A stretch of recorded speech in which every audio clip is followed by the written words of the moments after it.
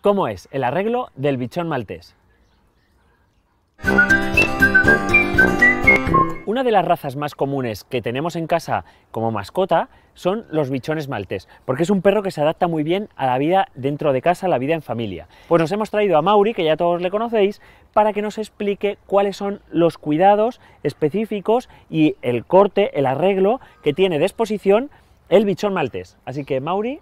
Sí, pues nada, nuevamente estamos aquí con esta raza y como les había comentado anteriormente, como todas las razas de pelo lacio y, y largo, eh, usamos casi lo mismo, ¿vale? Eh, quiero resaltar ante todo el, un poco el arreglo de la cabeza, que no hemos hablado mucho, y sobre todo el, arreglo en una persona en caso, en caso de que no quiera tenerlo para exposición, un arreglo más bien comercial. En, casa, ¿no? Y también en casa para que ellos puedan hacer. Una cosita que me llama la atención, ¿Por hecho de ser blanco utilizas algún producto para perro blanco? Sí, cómo no. Tenemos un poco de, productos que son blanqueadores.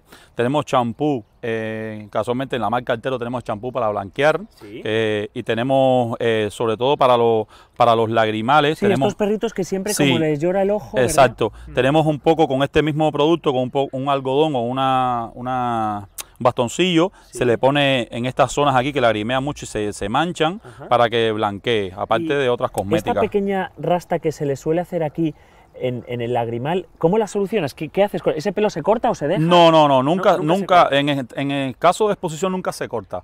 El, eh, tratar nunca de cortar el pelo de un perro de exposición, un maltés, yorkshire, chitsu o la salsa o otras razas similares. Se, trata, se, trata siempre de salvar todo este pelo, ¿vale? Se le pone acondicionador en caso de que tenga muy unido la rasta y se empieza a abrir con los dedos hasta lograr que todo este pelo empiece a caer. Y la gente, la gente en casa, lo básico, ¿qué es lo que necesita? Tendrían que cepillar, en principio necesitan, creo que será la, el cepillo no blando, el de mantequilla. Exactamente, yo le aconsejo a una persona que tenga en casa y no tenga la posibilidad de llevarlo a una peluquería, por lo menos debería tener un acondicionador hidratante, ¿vale? Con un champú hidratante, generalmente de la misma marca, porque tienen generalmente los productos básicos similares, y tener un cepillo, que es de mucha calidad, la tenemos, la tiene Artero también, que son muy suaves, una carda similar a esta, que está también muy suave, que se usaría después del cepillo, y al final un peine que se, solamente para darle el terminado y se peinaría para darle el acabado al, perro y mantenerlo y corregir. Eh, por ejemplo, cuando se hay un nudo,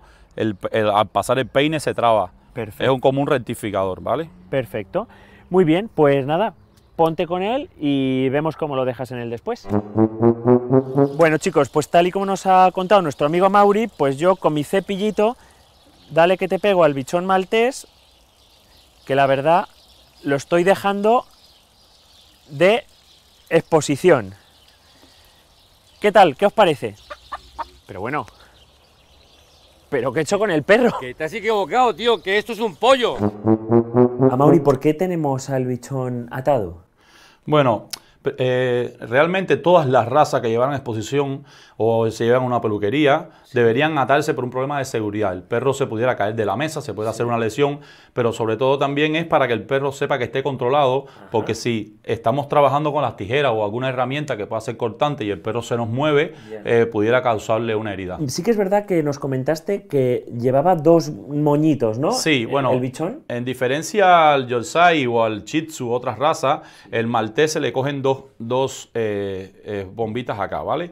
Entonces, eh, esto se, primero, eh, yo lo hago de esta manera, se carda un poco con el peine lo que sería el interior de la bomba para que el pelo coja un poco de, cuerpo. ¿Y por qué no se mueve? ¿Le has echado laca o...? No, no, no, es solamente cardado. Ah, vale. Cardado. Entonces, por fuera sí le hemos puesto un poquitito de laca para que estos pelos se peguen, pero ahora, después que nosotros tengamos ya, que le cojamos aquí la, las bombillas con, con, con cada lacito y este papel que le ponemos en el interior para que la goma no coja directamente al pelo, ¿vale? Haremos ya una, un arreglo y la expresión típica de lo que sería un, un maltés.